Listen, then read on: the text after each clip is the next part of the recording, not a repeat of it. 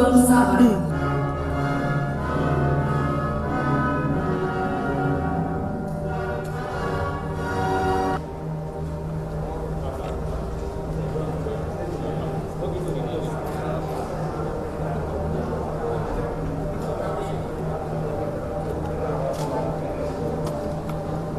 ini di sana masih persiapan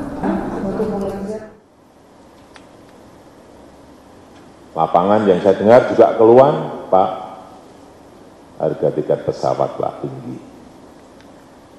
Sudah langsung saya reaksi, Pak Menteri Perhubungan, Pak perintah segera ini diselesaikan.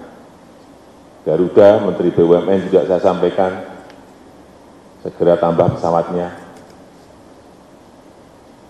agar harga bisa kembali pada keadaan normal. Meskipun itu tidak mudah karena harga aftur internasional juga tinggi.